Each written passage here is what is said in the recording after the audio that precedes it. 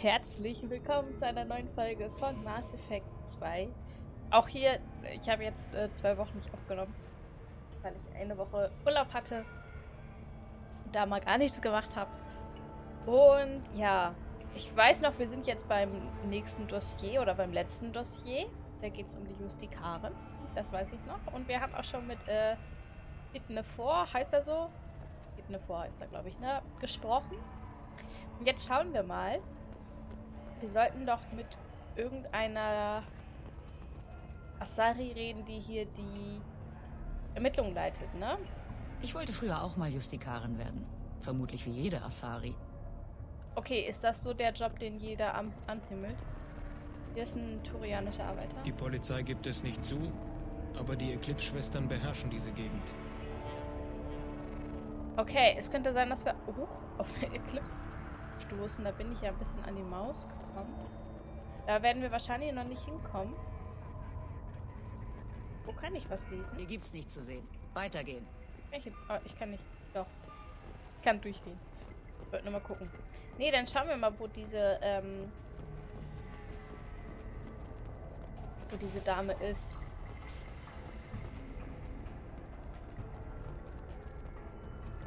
Hier ist nichts mehr. Okay, ich wollte nur sicher gehen.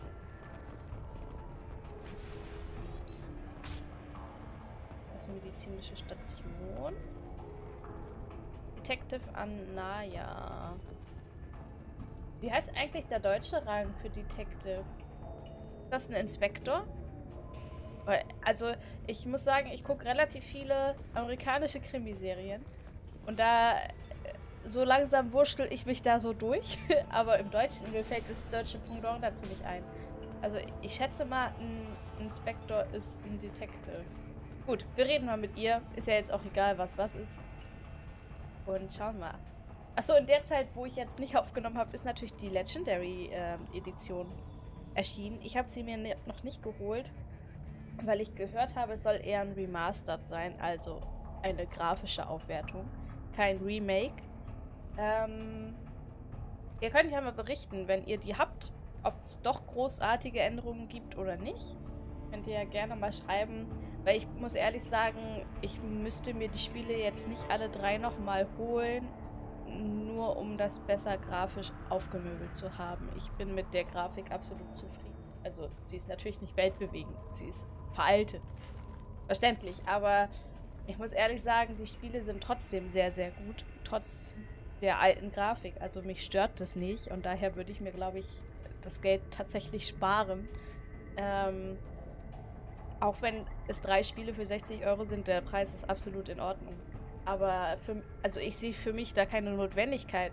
Aber wenn ihr sagt, boah, das haben sie geändert und das und das und das spielt sich viel flüssiger, könnt ihr ja mal gerne schreiben, wenn ihr da Erfahrungsberichte habt. Da bin ich ja mal gespannt. Ich habe mir noch nichts dazu angeguckt, weil ich einfach gerade lieber was anderes gucke. muss ich ehrlich sagen. Also dadurch, dass ich es gerade selber spiele, bin ich so ein bisschen Mass Effect gesättigt. Also da muss ich jetzt nicht noch extra Mass Effect gucken. Ähm aber interessieren tut es mir auf jeden Fall schon. So, ne? Jetzt sprechen wir mal mit, mit Detective Anaya. Bevor ich hier heute. Wird es wird eine Lava-Folge, ihr merkt es schon. Lange nicht mehr aufgenommen. Jetzt muss ich erstmal alles erzählen, was mir so durch den Kopf schwirrt. Hübsche Waffen. Bitte nicht in meinem Bezirk abfeuern. Was kann ich für Sie tun? Ich suche eine Asari-Kriegerin namens Samara. Wenn Sie eine Rechnung mit Samara zu begleichen haben, dann bitte woanders. Ich habe hier schon mehr als genug Ärger. Ich muss Samara für meine Mission rekrutieren. Dann sind wir auch schon wieder weg. Justikare arbeiten zwar normalerweise allein, werden aber nahezu magisch von unmöglichen Aufgaben angezogen. Eine Strategie der Selbstkorrektur. In unserem Fall natürlich von Vorteil. Wenn Sie sie aus meinem Bezirk rausschaffen, bringe ich sie umgehend zu ihr. Sie ist am Tatort. Ja, warum äh, sie loswerden möchte, fragen wir gleich. Aber erstmal müssen wir wissen, warum sie überhaupt hier bei der Ermittlung am Start ist. Sie haben sie an einen abgesperrten Tatort gelassen? Ich bin Polizistin. Ein Justikar hat meine volle Kooperation. Außerdem ist sie schon länger am Tatort, als es uns beide gibt. Sie kann auf sich selbst aufpassen. Sie sind sehr begierig darauf, Samara aus ihrem Bezirk zu kriegen. Meine Bosse wollen, dass ich sie einsperre. Sie haben Angst, sie würde irgendeinen Vorfall mit mehreren Spezies provozieren. Aber ihr Justikar-Kodex lässt nicht zu, dass man sie verhaftet. Wenn ich es versuchen würde, müsste sie mich umbringen. Ich will aber nicht sterben. Wenn Sie sie also mit irgendeiner ehrenvollen Sache fortlocken könnten, bevor ich meine Befehle erfüllen muss, würde mich das sehr freuen. Und ich würde Ihnen behilflich sein. Samara scheint prinzipienlos. Entweder ich blick das alles hier wirklich nicht, ähm, oder es wird hier ein bisschen undurchsichtig verkauft oder beschrieben.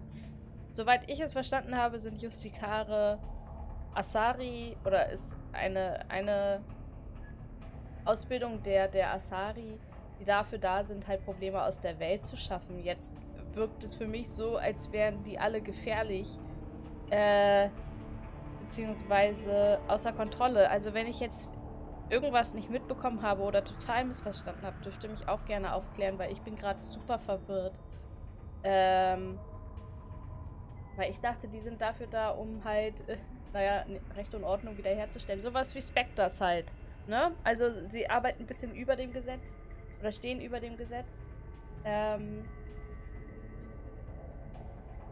sind aber grundsätzlich daran interessiert, Probleme aus der Welt zu schaffen. Klar, auch wir als Spectre wissen, dass manchmal unkonventionelle Wege gegangen werden müssen. Aber hier klingt es halt aus, so, als wäre Samara komplett außer Kontrolle und macht, was sie will. Äh, aber anders habe ich das. Also, hier klingt es so, als wäre sie außer Kontrolle. Bei anderen sah es so aus, als würde sie einfach ihre Arbeit machen. Also, irgendwie bin ich verwirrt. Ich sag jetzt das Obere. So. Ihre Vorgesetzten schicken Sie ohne guten Grund in den sicheren Tod. Sie haben ein Recht, solche Befehle nicht zu befolgen. Gut zu wissen, angesichts der Häufigkeit brenzliger Situationen, in die wir ständig geschickt werden. Also ungefähr zweimal täglich. Also, ja, wir haben uns gerade ein bisschen ins eigene Fleisch geschnitten, aber ehrlich, also, wenn ich jetzt Shepard wäre, wenn ich, wenn einer von meinen Kameraden sagen würde, nein, ich will das nicht machen, dann würde ich den niemals festhalten, egal wie genial seine Fähigkeiten sind. Ich würde sagen, geh deinem Weg und wir sehen uns vielleicht wieder oder auch nie wieder, je nachdem, ob unsere Mission erfolgreich ist oder nicht. Ähm, also ich würde da niemanden aufhalten, wenn er irgendwas aus, weiß ich nicht, moralischen, ethischen und sonst welchen Gründen oder einfach Angst um sein eigenes Leben nicht machen möchte. Unsere Mission ist wichtiger als unser aller Leben. Oh, das wollte ich gar nicht Anayas sagen. Vorgesetzte sind einfach nur dumm. Ich bin Polizistin und kenne meine Pflichten. Mir wurde befohlen, sie zu verhaften und das werde ich auch tun. Außer ich bringe sie dazu, vorher meinen Bezirk zu verlassen. Na gut, dann gehen wir los. Wie komme ich zum Tatort? Es ist gleich um die Ecke. Gehen Sie raus und dann links. Suchen Sie nach der Polizeiabsperrung. Ich sage Bescheid, damit man sie durchlässt. Vorsicht! Die Eclipse-Söldnerinnen hier treiben sich seit kurzem in diesen Nebengassen herum. Sie erwähnten einen Tatort? Ein Händler der Volos wurde ermordet. Die Arbeit eines Profis, also kein Junkie, der sich Stoff beschaffen wollte. Meiner Vermutung nach war es die hiesige Eclipse-Söldnertruppe. Beweisen kann ich es nicht, aber wenn der Volos auch Dreck am Stecken hatte, war es vielleicht nur eine Geschäftstransaktion, die aus dem Ruder gelaufen ist. Das vermute ich ja. Das ist so das, was mir so in den Kopf rumschwirrt. Wir hatten ja mit ihm schon gesprochen und er wirkt ja nicht ganz unschuldig, der Gute. Was muss ich über diese Söldner wissen? Eclipse-Söldner sind professionelle Killer. Sie verkaufen roten Sand, handeln mit illegalen Waffen und schmuggeln Kriminelle raus. Sie kontrollieren einige der Nebengassen hier. Ihr Versteck konnte ich leider noch nicht aufspüren. Was können Sie mir über Justikare erzählen? Sie sind eine Art... Menschen nennen sie manchmal Kriegsmönche. Sie leben nach einem komplizierten Kodex, der ihnen befiehlt, die Bösen zu bestrafen und die Reinen zu beschützen. Sie sind seit Jahrtausenden ein Teil der Asari-Kultur. Ich habe schon als Kind Abenteuergeschichten über Justikare gelesen. Okay, dann habe ich es ja richtig verstanden. Schön, da müsst ihr mich nicht aufklären. Ähm, an sich wollen sie einfach nur das Böse ausmerzen. Wahrscheinlich haben sie, genau wie Spectre, ein bisschen mehr Freiheiten und halt diesen gewissen Kodex. Und ich glaube, wie sie es auch schon gesagt hatte, darf man sie nicht einfach festnehmen. Aber warum, warum haben sie denn alle Angst vor Samara? Ich verstehe das nicht. Wir müssten Samara mal treffen, damit sich das hier auflöst. So. Was halten Sie von Samara selbst? Sie ist schon länger als drei Menschenleben Justikaren. Wer immer sie war, bevor sie ihren Eid abgelegt hat, ist lange tot. Samaras Anwesenheit scheint die Leute nervös zu machen. Asari bewundern Justikare. Aber wir wissen auch, dass sie ohne jede Gnade sind, wenn sie auf Korruption stoßen. Und die Justikare lassen den Asari keinen Freiraum. Was will sie hier? Ich bezweifle, dass es nur um den Mord an einem korrupten Bolus geht. Okay, auf Wiedersehen. Ich, ich knabber immer noch an der Geschichte. Aber das äh, ist mein Problem. Ich muss Wir gehen. machen, spielen jetzt endlich mal weiter. Viel Glück. Wir sollten Samara finden, bevor dieser Detective sich auf die Suche nach ihr macht. Ja, das machen wir. Wir werden jetzt den Tatort erkunden. Wir haben hier einen Spind und eine medizinische Station. Können wir einfach mal.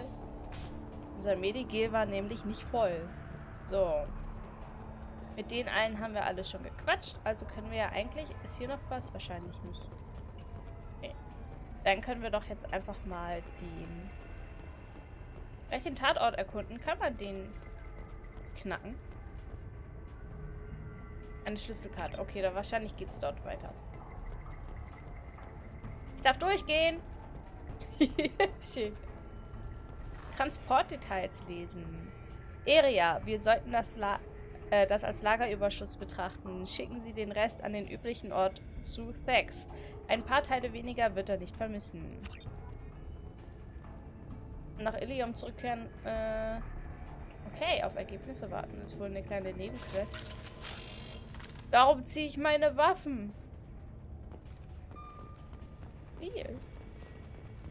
War ein bisschen Angst. Wir haben gar keine Leiche gesehen. Wo ist die Leiche? Ist gar keine Leiche.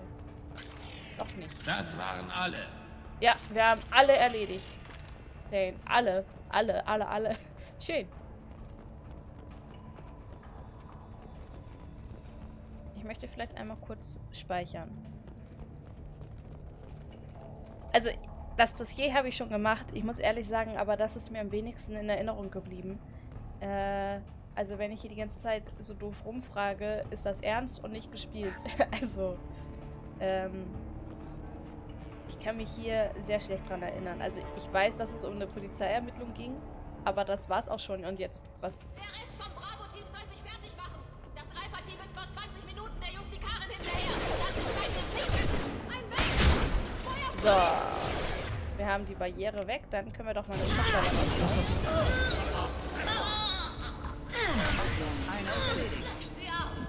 Oh, ich muss mal kurz warten, bis meine Schilde wieder da sind. Oh, jetzt hat sie wieder eine Barriere gemacht. Ah! Du stehst genau im Weg, mein lieber Morden. Das war's für dich.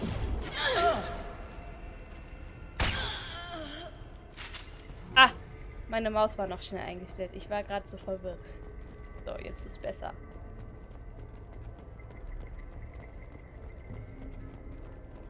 Okay, da ist abgesperrt. Und hier ist einfach nichts. Ja, dann müssen wir wohl durch diese Tür.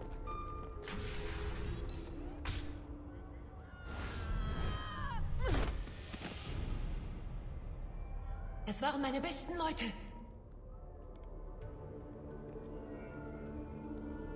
Sagen Sie mir, was ich wissen will, und ich bin sofort weg. Wo haben Sie sie hingeschickt? Sie glauben, ich verrate sie? Sie würde mir Schmerzen zufügen, die Sie sich nicht vorstellen können. Wie hieß das Schiff? Ihr Leben hängt von der Antwort ab, Lieutenant. Selbst wenn Sie mich töten, wird eine von uns Sie kriegen, Justikarin.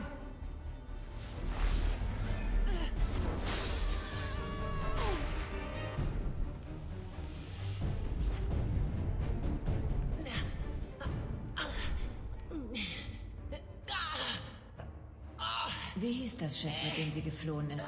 Fahren Sie zum Teufel!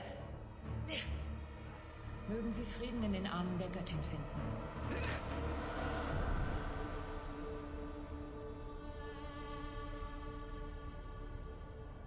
Mein Name ist Tamara und ich diene dem Justikar-Kodex. Meine Gegner sind die Eclipse-Schwestern. Aber jetzt stehen drei gut bewaffnete Kämpfer vor mir. Sind wir Freunde oder Feinde?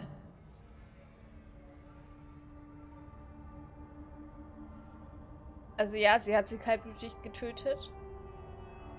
Aber ich muss sagen, ich finde Samara mega interessant. Ich will das nicht sagen. Also sage ich das jetzt nicht, weil sonst sage ich wieder was Böses und bereue es. Also, Freunde. Ich bin Commander Shepard und ich brauche Ihre Hilfe bei einer wichtigen Mission, Samara. Das ehrt mich, aber ich stecke mitten in einer Ermittlung. Die Chancen sind miserabel, fast schon selbstmörderisch. Und dafür brauche ich die Besten, also Sie. Ich fühle die Wahrheit in Ihren Worten und sie beschämen mich. Aber ich bin hinter einem unglaublich gefährlichen Flüchtling her. Ich hatte sie hier in die Enge getrieben, aber die Eclipse-Schwestern haben sie weggebracht. Ich brauche den Namen des Schiffes, auf dem sie war, bevor die Spur kalt wird. Ich wünschte, Sie würden den Menschen begleiten, Justikaren. Ich habe Befehl, Sie zu verhaften, wenn Sie nicht gehen. Sie gehen ein großes Risiko ein, indem Sie Ihre Befehle befolgen, Detective. Zum Glück muss ich mich nicht weigern. Mein Kodex verpflichtet mich dazu, einen Tag lang mit Ihnen zu kooperieren. Danach muss ich meine Ermittlungen fortsetzen. So schnell kann ich Sie nicht wieder freilassen. Sie werden mich nicht aufhalten können. Die Situation ist sehr schwierig wohl gerade. Wir haben keine oder wenig Info zu diesem Kodex, den die Justikare auferlegt ist. Ähm, oder den die Justikare haben. Ich will da auch nicht reinfunken, weil das ist. Das darf ich nicht, sozusagen. Das wäre einfach nicht vertretbar. Ähm. Na, mal schauen, wie wir das auflösen kann, können, diese Situation. Ah, für Menschen ist das hier verwirrend. Kann mich mal jemand aufklären? Ich wollte Sie davon überzeugen, mit Ihnen zu gehen. Aber Justikare und Ihr Kodex. Der Detective hat den Befehl, mich festzunehmen. Ich kann Sie nicht zur Befehlsverweigerung zwingen. Samara wartet einen Tag und tötet dann jeden, der sie ihr in den Weg stellt. Leider ja. Es muss doch eine Lösung geben, wie wir alle bekommen, was wir wollen. Ich weiß eine Lösung. Während ich in Verwahrung bin, finden Sie den Namen des Schiffes heraus. Wenn Sie das tun, schließe ich mich Ihnen an. Dann ist dem Kodex Genüge getan.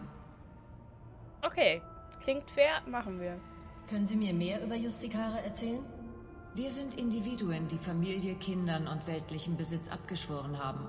Von ein paar Waffen und Panzerung mal abgesehen. Wir durchreisen das Gebiet der Asari und machen geschehenes Unrecht wieder gut. Gemäß dem uralten Kodex, den wir alle auswendig gelernt haben. Wisst ihr, was mir gerade aufgefallen ist? Also sie ist ja echt eine hübsche Erscheinung, aber ihre Brüste hängen total komisch. Total weit unten. Oder kommt mir das gerade nur so komisch vor? Kann ja auch sein. Es sieht auf jeden Fall nicht so natürlich aus. Ilium wird zwar von Asari beherrscht, liegt aber nicht in ihrem Gebiet. Meine Feindin ist hierher geflohen. Ich habe geschworen, sie zur Strecke zu bringen und ich werde ihr überall hin folgen. Ein Justikar verlässt nur selten das Gebiet der Asari, aber ich muss meinen Schwur halten. Wenn das zu meinem Nachteil gerät, werde ich es akzeptieren.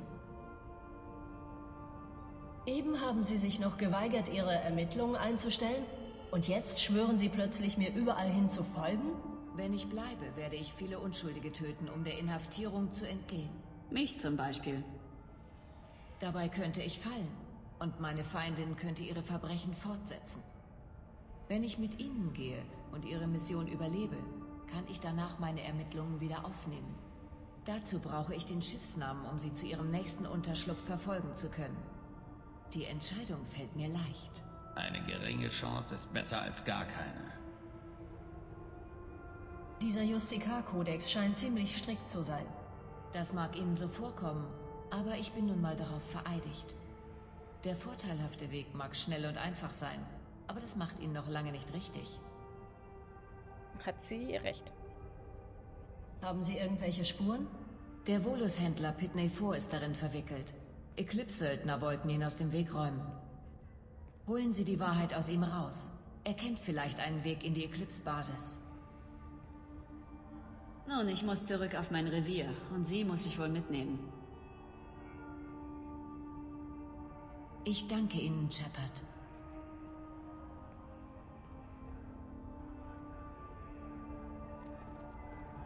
So, eine Farbe fragen. Das werden wir auf jeden Fall machen. Aber erst in der nächsten Folge. Mega interessante Situation. Sehr angespannt und sehr schwierig. Aber ich... Also klar, wir haben jetzt eine relativ einfache Lösung. Ähm... Mal sehen, wie wir das geregelt bekommen in der nächsten Folge. Jetzt erstmal vielen Dank fürs Zuschauen. Bis dahin. Ciao, ciao.